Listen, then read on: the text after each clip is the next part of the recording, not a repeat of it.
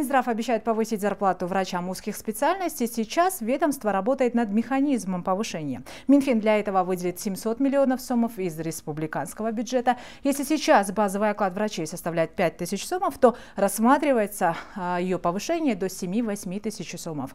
Но медэксперты связывают подобные громкие заявления с приближением выборов. Другая не менее важная тема – это безопасность врачей. Последние события просто подтолкнули общественность, да и соответствующие органы задуматься, Депутаты предлагают наказывать лишением свободы за нападение на медиков. Об этом и не только в прямом эфире телеканала Нью ТВ. Я Элиза Балбакова. Не переключайтесь.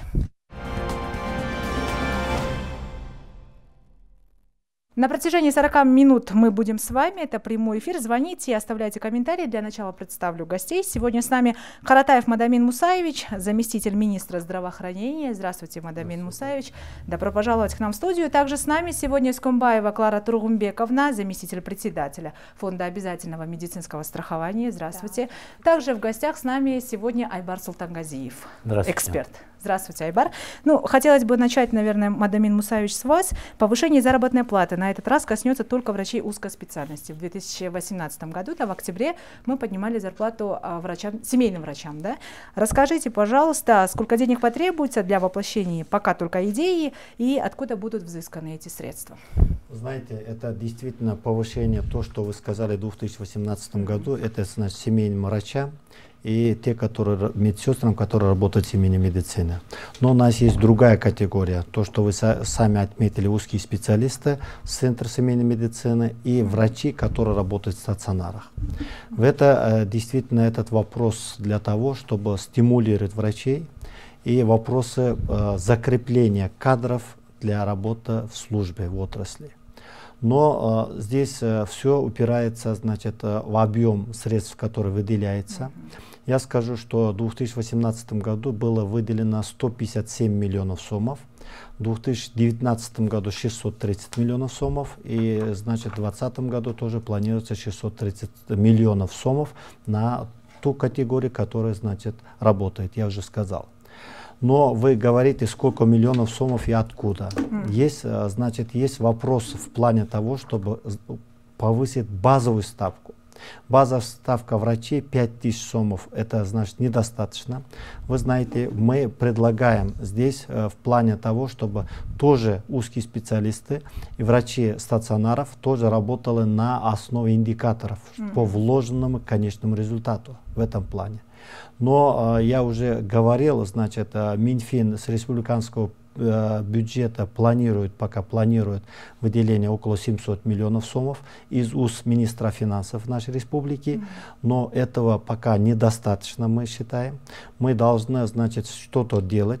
Это не то, что мы говорим. Здесь расчеты имеются, при каком процента, как, какая сумма будет, это расчеты имеются. А Мадамин Мусаевич, на какой стадии сейчас вот решение вопроса данного? Но а, здесь э, было поручение министерству совместно с фондом обязательного медицинского страхования раз, э, с, э, создана рабочая группа, угу. они работают над механизмом повышения. Когда будут результаты, мы, значит, предложим это э, Министерству финансов и правительству. Угу. Спасибо. 56 56 72. Звоните и задавайте свои вопросы. Клара Тургумбековна, ну, следующий вопрос адресован вам. А, мы говорим о новой системе оплаты труда семейных врачей, да, в 2018 году внедрили. И все это, чтобы привлечь молодые кадры, да.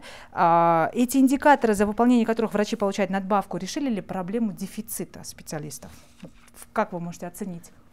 Ну, вообще, когда мы э, внедряли эти uh-huh. индикаторы, перед нами стояли две задачи. Первая задача это, конечно же, привлечение э, специалистов в семейную медицину.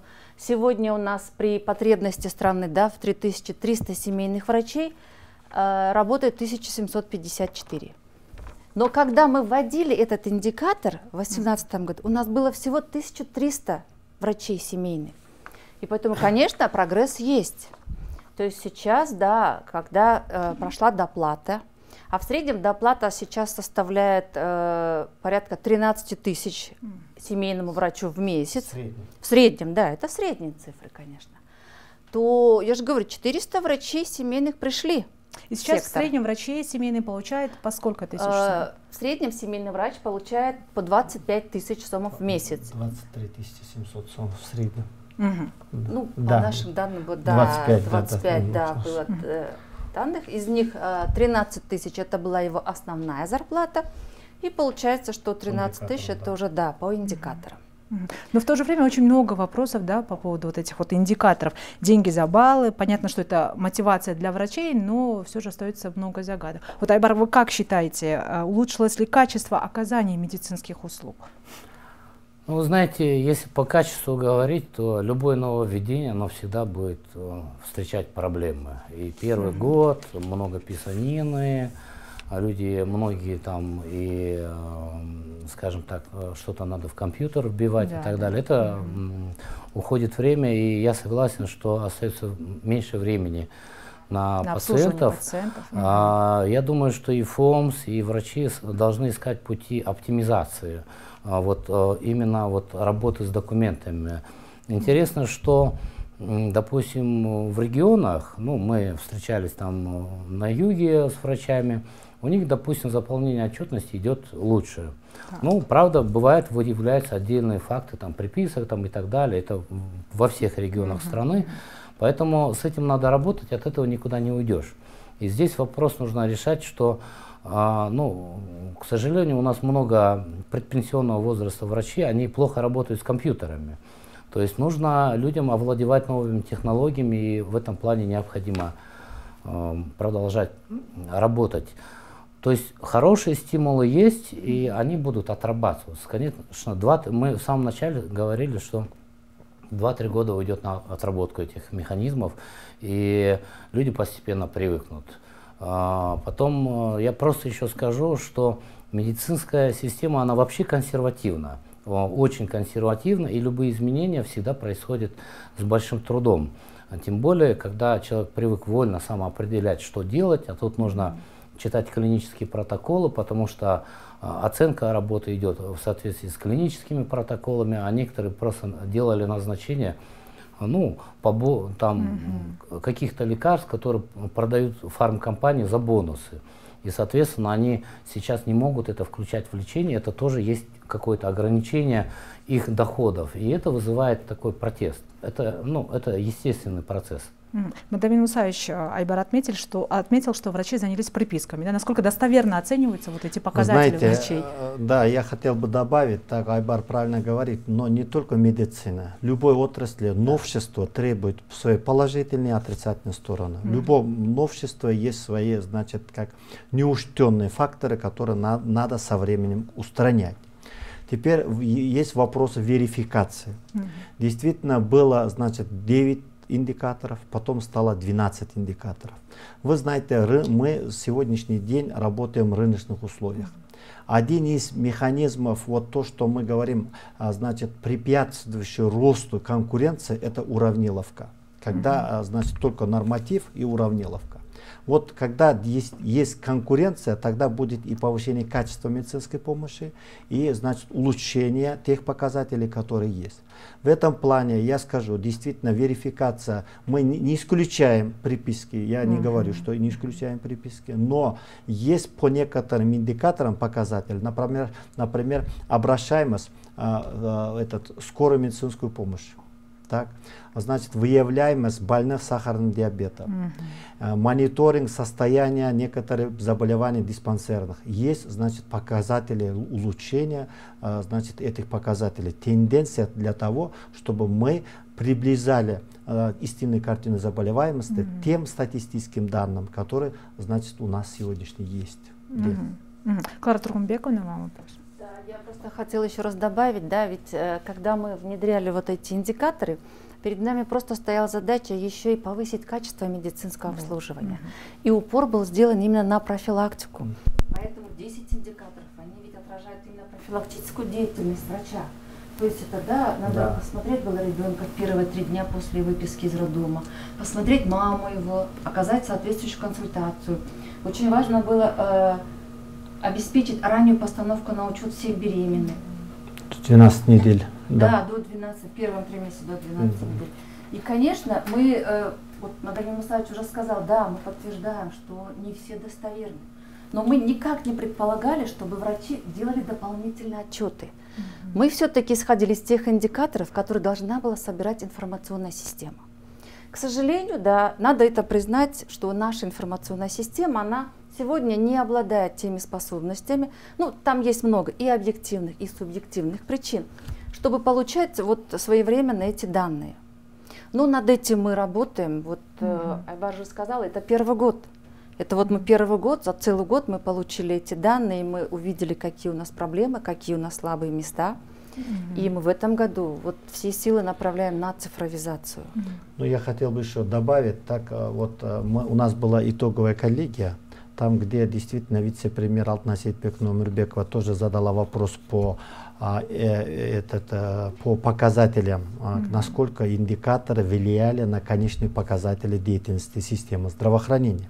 В этом плане действительно мы дальше, значит, все на месте не стоит. Есть действительно вот эта группа, которая отвечает за первичную медико-санитарную помощь. Они снова сейчас смотрят, где мы все время мы э, совершенствование, именно чтобы было самое главное, чтобы у нас больной пациент не пострадал. Угу. Больше времени. То, что вот цифровизация мы говорим, вы знаете, цифровизация это действительно положительно. То, что если, допустим, компьютер, все есть, значит, там оно не должно, допустим, второй раз учитывать это. Мы исключаем, значит, приписки.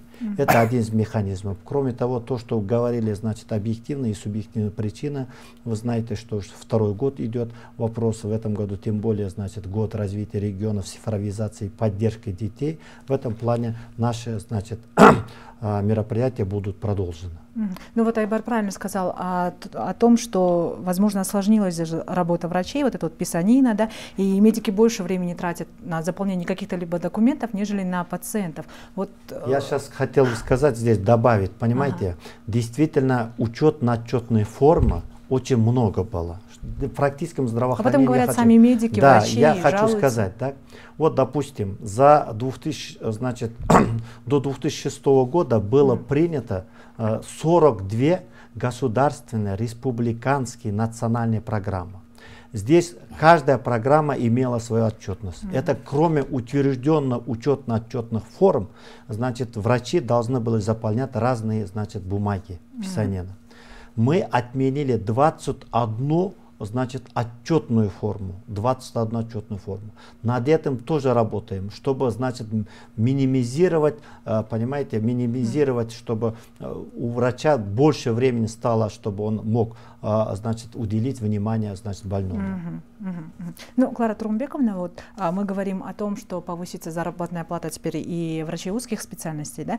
Какие возможности мы сейчас имеем? Вот если конкретно оценивать, и а, Мадамин Усаевич все-таки не отметил а, про дату, когда все-таки ждать врачам. Вроде бы как новость, она уже появилась а, в информационном поле, но мы пока в загадке. Вот вы ну, немножко вот откройте секрет. Э, подтвердит, да, что вообще вопрос повышения заработной платы, он постоянно, Обсуждается, да, и, да, да, и он очень постоянно как бы вот инициируется Министерством здравоохранения. С 2016 года мы писали очень много писем, мы представляли разные варианты расчетов государству повышение зарплаты врачей да, на 10%, на 20%, на 40%, на 50%, на 100%. Mm-hmm. Мы, конечно, понимаем, что э, сегодня ну, как бы, да, экономическую ситуацию в стране и ограниченность mm-hmm. бюджетных возможностей. И э, я же говорю, что ну, минимально, чтобы поднять на 40%, нам нужно дополнительно 2,5 миллиарда. Можно я просто э, дам коми- вот по этому комментарию? Ну, вы знаете, наши уважаемые руководители государства, они все-таки бывают связаны общей политикой. На самом деле, если брать э, финансирование системы здравоохранения, оно сокращается третий год. Угу. А, на этот год бюджет сокращен более чем на 300 миллионов сомов, и то это скромное сокращение после того, как все-таки были какие-то реакции со стороны народа и так далее. И это как бы можно понять. А, у нас э, не повышается доходная часть, угу. У нас растет бремя внешнего долга, более 20, ну, по-моему, 26 миллиардов сомов должны выплачивать в этом году, а в позапрошлом было 16 миллиардов. Пик придется на 22-23 года. Поэтому ожидать, что социальные сферы, они будут э, финансироваться в достаточном объеме, не надо. Mm-hmm. Это реальность такая. Нужно находить очень серьезные, скажем так, а, источники э, доходов. И первое, я скажу, э, я уже на всех площадках говорю, к сожалению, не могут люди озвучивать. Мы за здоровье, за здоровье платим 2% из, из своей зарплаты. Ни в одной стране мира такого низкого уровня оплаты за свое здоровье нету. И кроме, у нас 6 миллионов граждан, а, из них 5 миллионов граждан должно быть, ну там с копейками должно быть застраховано, а фактически застраховано 4 миллиона. Миллион граждан не платят ни копейки деньги, ну, чаще всего это мигранты и так далее, но они приезжают домой лечиться. Mm-hmm. И это источники. Если бы этот миллион платил, был бы еще миллиард, миллиард полтора сомов. Если бы поднять до 4 хотя бы процентов, было бы еще 2,5, мы делали расчет, еще 2,5 миллиарда. То есть а, фактически есть возможность получить там 3,5 миллиарда сомов, и это покрыло бы значительные расходы. Mm-hmm. Это вот первый момент. Но, а, к сожалению, ни, ни одна последние годы власть, наше а, руководство не может поднять этот вопрос, потому что это чувствительный социальный вопрос, тем более, вот, допустим, это не поднимется вопрос в предвыборную пору. А, и меня беспокоит, ну, с одной стороны, мы рады, вот за прошлый год все-таки фактически было выплачено там 290 миллионов сомов на доплаты семейным врачам. врачам. А, ну, было обещано 660 630. миллионов, 630 миллионов. К сожалению, там не было семейных врачей с сертификатами и так далее. Сейчас говорят о 700 миллионов. Я э, реалистично я не знаю, где эти деньги могут найти только из самой системы здравоохранения. Если так, то мы будем против. Потому что остальная система здравоохранения – это инфраструктура, это лекарства больным, то есть это то и то, вы знаете, в очень сокращенном виде все идет. Идет недофинансирование лекарств. Объективно, потому что в бюджете нет средств. А, средства поступают с опозданием. Вот а, в систему ФОМСа мы неоднократно в прошлом году этот вопрос поднимали. Поэтому а, ну вот насчет предвыборной поры. Во всех странах мира а, граждане используют момент выборов. Это нормальный процесс. И государство, пытаясь а, сделать какие-то шаги, там политики, они делают обещания, и некоторые обещания выполняют. Да? Может быть, не все. А, и это хороший момент, когда вот сейчас изыскать ресурсы, и очень Мадамин Мусаевич хорошую новость сказал о Э, увеличение, там, э, э, о возможном увеличении зарплат врачам узких специальностей. То есть в предвыборную пору, если это сработает, сейчас это то самое хорошо. время, вы считаете, да, это, поднимать такие. И mm-hmm. наши граждане сейчас могут настойчиво а, изменить, не, бюджет не изменится, семейный бюджет куда? Мы просто вместо тоя пойдем лечиться или улучшать свое здоровье, да? Mm. И можно изменить приоритеты, на которые выплачиваются а, деньги из государственного бюджета. Потому что часто, когда потом придут новые политики и так далее, они начнут там а, свои какие-то интересы пробивать, там а, начнутся отмеч... у нас вот игры кочевников отмечались и так далее, то есть э, какие-то дешевые пиар-акции, которые потом забываются очень быстро. То есть сейчас это хорошее обещание, и мы надеемся, что наше правительство, Министерство здравоохранения сможет это выполнить. Ну, я да, я просто, извините, хотела немножко внести уточнение, что да, действительно сегодня а, взносы, страховые взносы на обязательное медицинское страхование составляют 2%. И этот тариф установлен в 1996 году. Mm. Но э, единственное просто с поправкой, что выплачивает их работодатель. Ну, да. Сам э, работник не несет никакой э, нагрузки. Если мы посмотрим, что у нас есть кто оплачивает сами, это фермеры крестьянских хозяйств, индивидуальные предприниматели, но сумма настолько мала, что получается мы просчитали, фермер платит, один фермер 32 сумма в месяц платит на свое медицинское страхование. Тогда как по данным ФОМСа, они принося как бы вот уплачивая взносы да. на 20 да, миллионов, они расходуют средства здравоохранения на 180 миллионов. И этот вопрос всегда поднимается ФОМСом. Мы неоднократно предлагали, да, чтобы хотя бы внести 1% именно с работника, mm-hmm. чтобы каждый имел свое чувство ответственности за свое здоровье. Мы понимаем, что 1% это сразу нельзя. Мы предлагали даже поступенчато, то есть по 0,25% каждый год можно да. было. Да, разный механизм прорабатывали. Да, вы знаете что, вы говорите уже, почему дату не говорит. Значит, я не имею права, во-первых, дату говорить.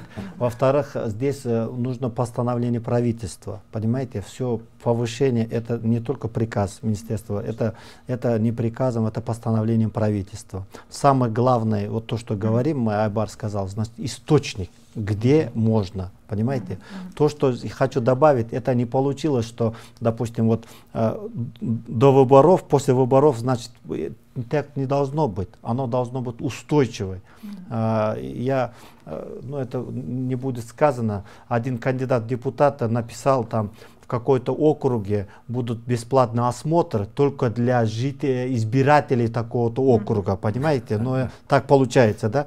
Пока голос нужен, значит бесплатный осмотр, а потом голос не нужен. Это я, я тогда сказал, вот это у вас против будет. Так кандидат не прошел, а значит даже на второй тур, понимаете? Поэтому здесь народ умный.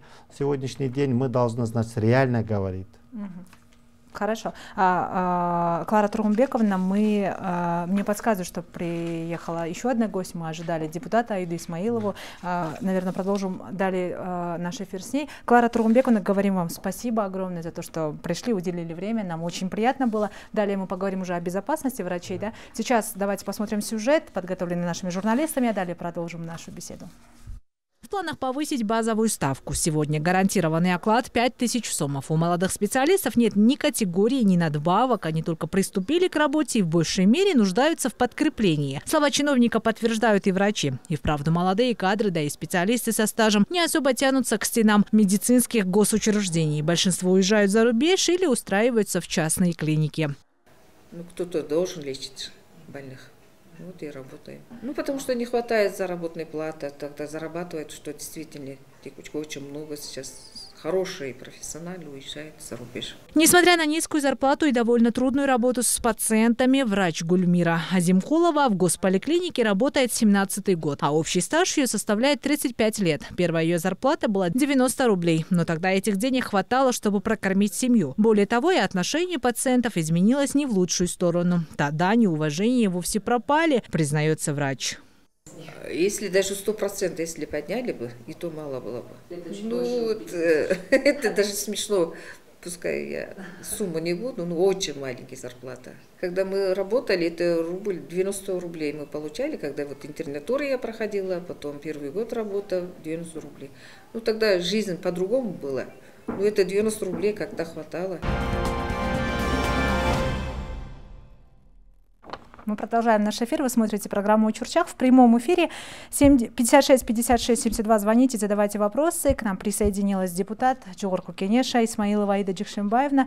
Очень приятно, рада вас видеть. Также я напомню, в гостях Каратаев Мадамин Мусаевич, заместитель министра здравоохранения, а также Айбар Султангазиев, эксперт. А, Аида Исмаилова, о, Аида Джикшимбаевна, простите, мы до обсуждали про повышение заработной платы врачам узкой специальности, но хотелось бы теперь уже поговорить о безопасности врачей, да, последние вот эти вот события, а, нерадужные события, когда пациенты обижают, можно сказать так, врачей.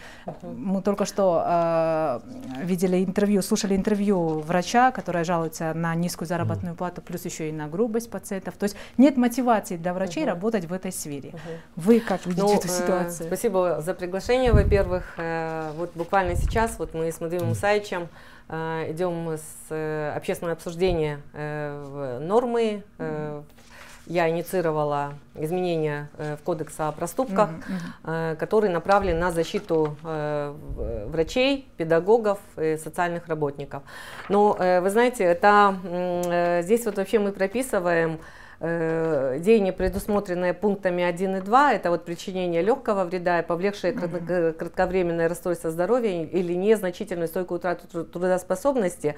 Я вот, э, мы прописываем предусмотренные пунктами 1 и 2, которые я сейчас э, назвала, настоящей статьи, совершенные в отношении представителя власти. Э, вот представителя власти, оно уже было заложено в кодексе, мы сюда добавляем и работника учреждений, и организаций. Mm-hmm. Также мы добавляем независимо от формы собственности, но вот здесь вот немного возникает некоторые моменты, да, потому что есть кое-какие противоречия, и есть тот момент, что все-таки вот работники учреждений и организаций, они под, да. входят в систему здравоохранения, поэтому они защищаются, если они входят в эту категорию, они защищаются автоматически, независимо от формы собственности. Здесь вот самое главное, при исполнении ими своих профессиональных обязанностей.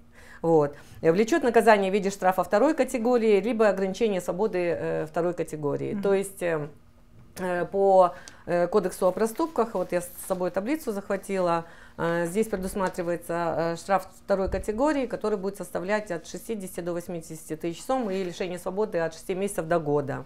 Mm-hmm. Вот. И Э, вы знаете, когда я, получается, инициировала это и уже э, вывесила в социальные сети, оно появилось на общественном обсуждении у нас на сайте Джоур Кинеша, а, ко мне, э, в общем, поступило очень много обращений от простых граждан, которые не являются ни педагогами, ни врачами, ни соцработниками, Пациенты, которые, ну, пациенты, можем так сказать, и э, здесь вот немножко двояко, двояк, дво, э, вопрос вот э, как бы переносится в такую двоякую плоскость. Почему? Потому что пациенты, многие недовольны качеством, э, качеством услуг, которые, качеством оказания медицинской помощи, которые оказывают медицинские работники. Да? Вот. И приводят буквально очень разные примеры. Но Э, до того, как э, вообще этот э, законопроект, ой, изменение в кодекс инициировался, я, зная, что вот такие моменты будут, я пригласила представителей всех государственных органов, которые к этому имеют отношение, для того, чтобы понять, есть ли нормы, которые определяют функциональные обязанности сотрудников этих всех учреждений. Да? И э, мы выяснили, что есть закон, э, вот, допустим, у медиков есть да. закон о э, э, статусе медицинского работника, работника да. где э, прописываются обязанности э, медицинских работников и э, функции их прописываются. Также есть у нас закон о статусе э, учителя. Угу. Там то же самое, прописываются обязанности, прописываются функциональные обязанности. Правда, э, у нас с этим, э, знаете, немножко не определено э, со статусом вот именно социальных работников. Министерство соцзащиты, оно предлагало законопроект, который определяет статус работников социальной сферы но правительство э, дает отрицательное заключение, и а, сейчас вот я хочу доработать вместе с министерством и уже внести, э, ну как бы вот э, от нас, от Джордж Кинеша, для того, чтобы определить функции, статус, усиленные они этот закон делали, ой, изменения делали, и вынести вот уже, ну как бы от себя. И Сегодня как раз-таки а, мы пригласили э, представителей вот этих вот э, трех категорий. Э, пришло очень много людей, около 80 человек, были очень бурные обсуждения. Вот буквально вот час назад закончили мы и отсюда вот сюда пришли. И знаете, очень разные, очень разные предлагали предложения, да, были очень были такие вот очень даже жесткие предложения. Э, допустим, те, кто работает с пациентами, они э, ну, были на стороне пациентов, они говорят вот то, что все-таки медики где-то вот допускают ошибки mm-hmm. и ну, порой за это ну, не отвечают. Да?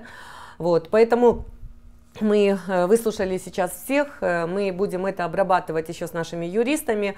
Э, наш, наши изменения сейчас висит на общественном обсуждении. На сайте Джорку Кенеша. Любой гражданин может носить свои предложения mm-hmm. и писать туда вот спасибо, на сайт. Спасибо. Эдди Ну, Айбар, смотрите, пациенты говорят о некачественном обслуживании, но это их не оправдывает, правильно? И так ну, обращаться ну, знаете, с врачами. Я, например, полностью поддерживаю данный законопроект. Есть, э, скажем так, другие совершенно нормы. Какие бы действия не совершала там противоположная сторона, это не дает права насилия в любом его проявлении, физического, морального и так далее. Поэтому а, к сожалению, ну, вот мы наблюдая различные сюжеты, что сотрудники правоохранительных органов, что медицинские работники, что то есть представители государственных органов власти подвергаются э, физическому, скажем так, насилию, ну, чаще всего, да, ни одно там халатное отношение или плохая работа любого из этих сотрудников не дает оправдания насилию в его отношении.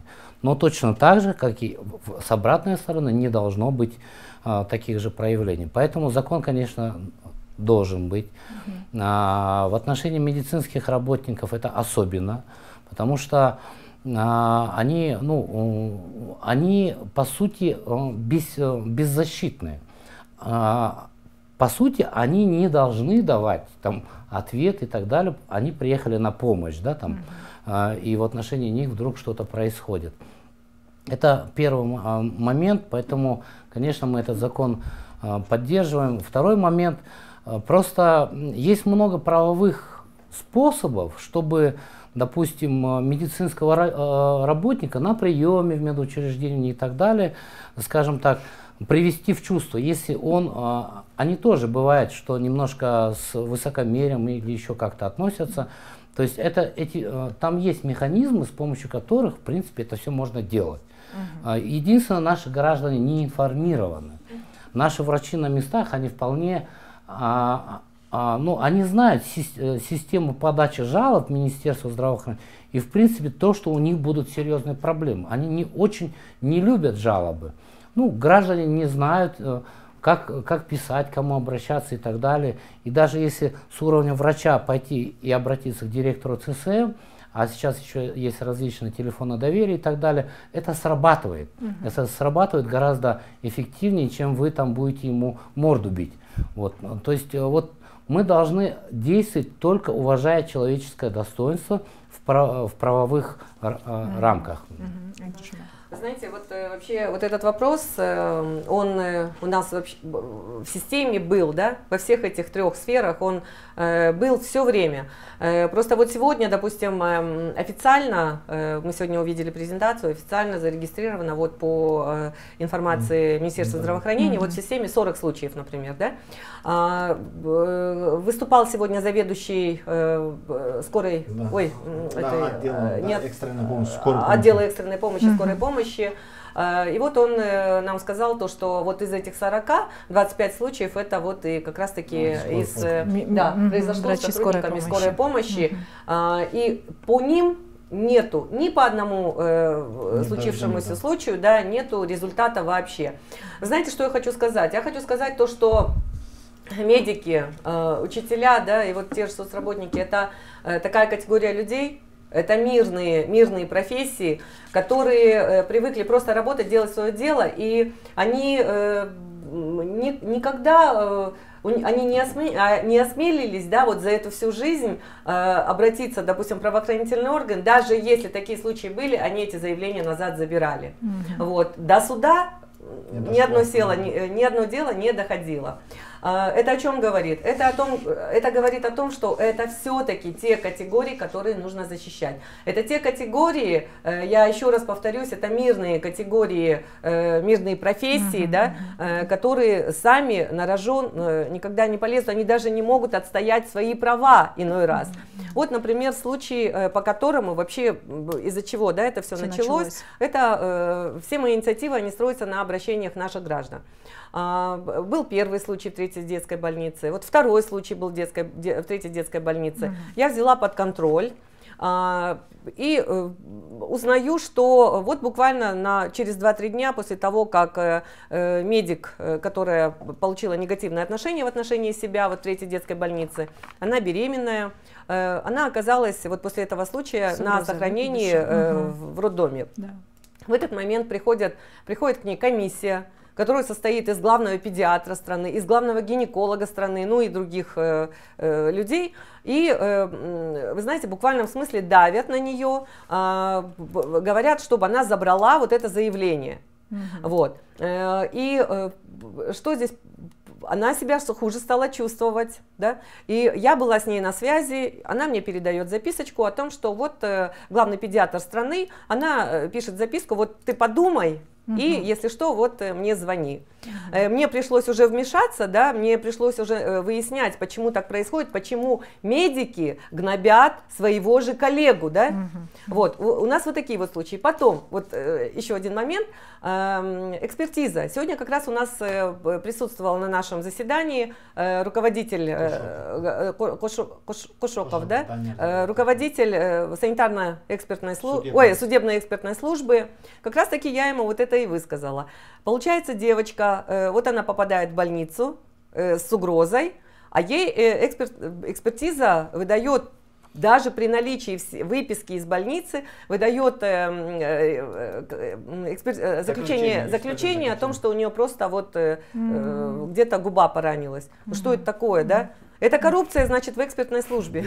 Да. Знаете, что, да, действительно, здесь вот то, что ни одно не доходило, здесь есть три момента, да. Mm. Вот uh, у нас, видите, кыргызы все родственники, получается, так. Во-первых, значит, там uh, встречные заявления пишут, так, это раз. Во-вторых, вы сами увидели, что вот этот, э, значит, следователь, вот это бюрократские волокита, они, э, мы тоже высказали сегодня представители МВД, они, значит, э, тянут, любое время приходи, там каждый раз туда-сюда, лучше, он скажет, лучше я откажусь, чем без конца буду Конечно, ходить да. там этот mm-hmm. момент, да. И третий момент, действительно есть момент, вы правильно говорите, насколько мы, мы сегодня услышали, мы действительно возьмем в контроль в плане того, чтобы, значит, раз э, вот такое дело, да, надо за раз регистрировано РРП, сегодняшний день единая регистрация этот, поступков и преступлений, uh -huh. да, uh -huh. да, значит, оно должно доходиться до конца. Понимаете, мы должны уменьшить вот это бюрократическое моменты, чтобы действительно наказать. Если ты неправильно сделал что-то и так далее, оно... Должен нести ответственность. Да, угу. должен чувствовать, угу. что есть ответственность. Оно будет для других примером. Понимаете, в этом плане. Ну, были случаи, когда вот знаете, что не надо этот, жалеть, там в плане того, чтобы раз э, пусть думает сперва, прежде чем, значит, Делать пойти на такой шаг. Да. Угу, угу.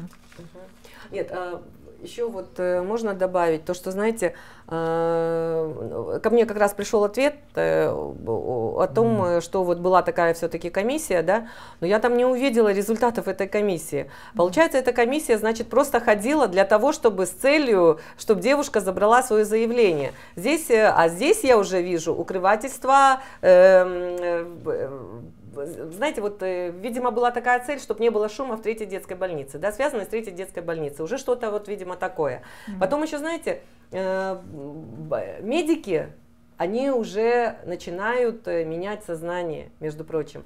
Медики, они уже начинают высказываться. Вот сегодня 80 человек, да, у нас было. Я не думала, что обсуждать вот такую вот, э, ну, получается, щепетильная же тема, да, для системы там и так далее, э, приду, придет столько медиков. И не боясь руководства, да, не бо... даже сами руководители, у нас да. вот прям даже э, да, не, не присутствовали даже, профессора, да, да. да даже вот сидели, просто не всем получилось слово дать, guys. Вот. И э, недавний случай даже я озвучивала вот в Нарыне, Нарынская ОЦСМ тоже был. Вы знаете, это же все медики сами же, они уже меняют сознание, они уже не боятся, они говорят, мы что, что надо, мы все напишем, что mm-hmm. где надо, что, то и скажем. Поэтому я очень рада, я считаю, что не все так плохо, да, я думаю, общими силами мы вот э, э, чего-то добьемся, mm-hmm. да, ради Спасибо. того, чтобы Спасибо, Айда Было. Мне подсказывают, что наш эфир, к сожалению, подошел mm-hmm. уже к концу. Спасибо вам, что вы были с нами. Давайте угу. я напомню. В гостях у нас был Каратаев Мадамин Мусаевич, заместитель министра здравоохранения. Спасибо вам, Мадамин Мусаевич. Также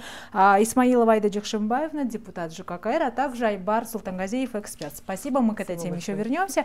Вы смотрели программу «Чурчах» в прямом эфире. Я Лиза Балбакова. Прощаюсь с вами. Оставайтесь с нами. Синю ТВ.